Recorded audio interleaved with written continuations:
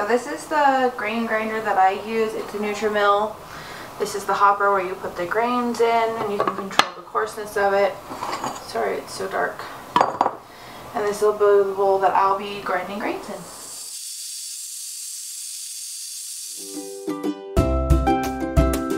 Hello, hi, and welcome to my kitchen. My name is Cassidy, and around here I really like to focus on anything homemaking and motherhood. Today I'd like to focus on making a basic yeast spread using fresh ground grains, and today I'm going to be using the hard red wheat berries. Now, uh, this is a new recipe to me. I'm going to be using it out of the home ground flour book um, I haven't made this before, so it's new to me, and we're going to be doing this together. I did already grind my grains, or as I show a little glimpse of, um, this is hard red wheat berries that I have in bulk in my bin, and I use the Nutri-Grain mill, Nutri-Mill for grinding my grains. It is a stone ground mill, which is better for grains because it doesn't heat up like the metal ones do, do as much. So then you're getting a healthier grind. So I've already collected my ingredients that I'm going to be needing ahead of time. Down in the description you'll find what you'll need for this recipe and the book I'll link down below as well so you can uh, purchase it if this is something that you like.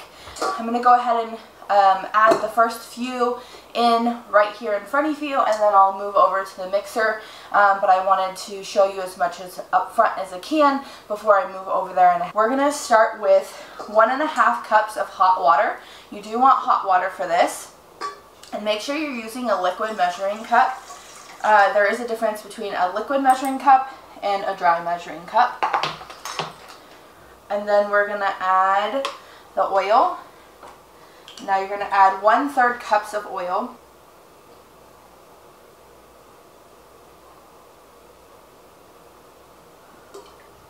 Then a third cup honey. Do need, so I'm going to show you this little trick that I learned. If you lightly spray, so lightly coat your measuring spoon with um, cooking oil and it'll help your honey come out so smooth. It just, so one third cup, and I'll show you. It just comes pouring out. Comes out nice and smooth. I'm just gonna incorporate that a little bit. Put that Okay, and then we're gonna go on to two, uh, two teaspoons of salt. I'm gonna be using my sea salt, but you can use any salt you prefer. Where's my, oh. Teaspoon. One, two, and then one egg.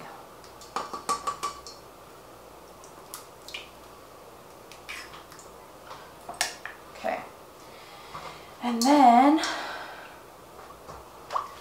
just kind of mix that up a little bit. Put that to the side. Now I'm going to add three cups of my milled flour. Oops. And yes, I will make a mess.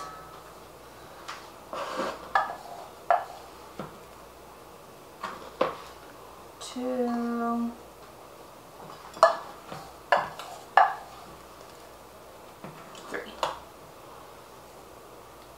And now I'm going to move it over to the mixer so I can mix this up. Lock it in, close it.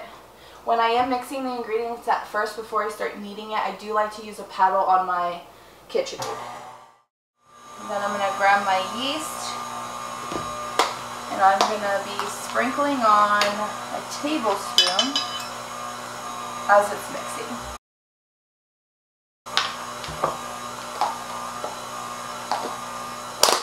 And then I'm going to slowly add the remainder one cup of flour.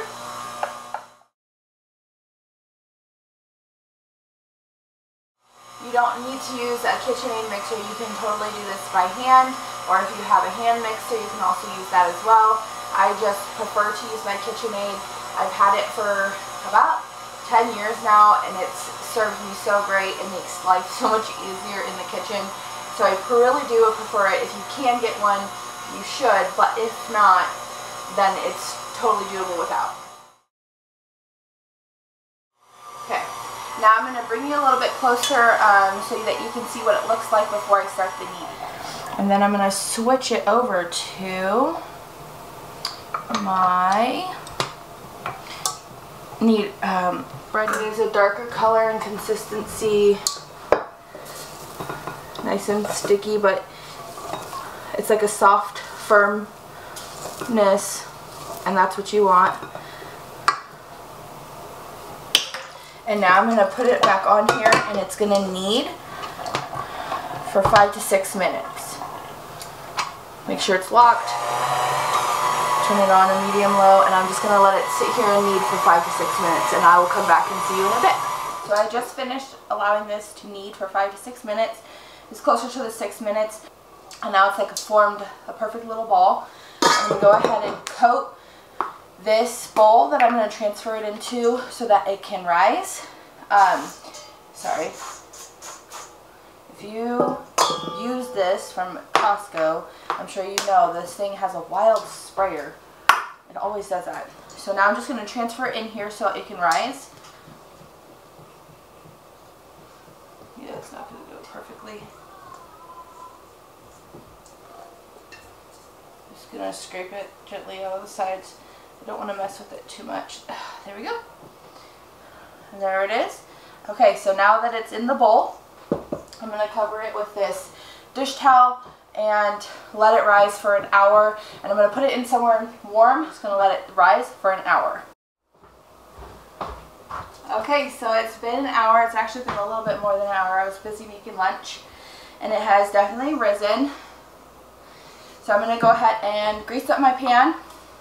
Now this is made for two um, loaves of bread, but I just make it one for our family because I have this nice giant bread pan.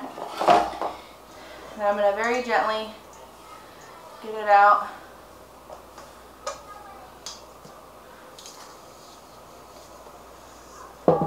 Kind of elongate it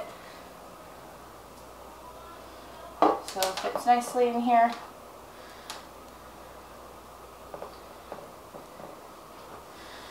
You're going to make sure that your pan, I don't know if I mentioned this, you um, want to make sure that you're preheating your oven to 350. This is what it looks like.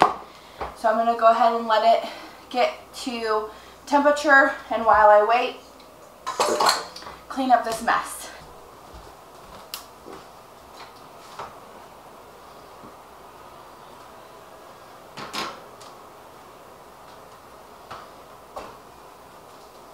You're going to want to put that in the oven for 25 to 30 minutes. If you have a ready read temperature um, gauge, then make sure it's at 190 in the center of the So I've taken out the loaf of bread. I'm going to go ahead and let it cool before I go cut into it. Probably 10 or 15 minutes because you don't want it to break up.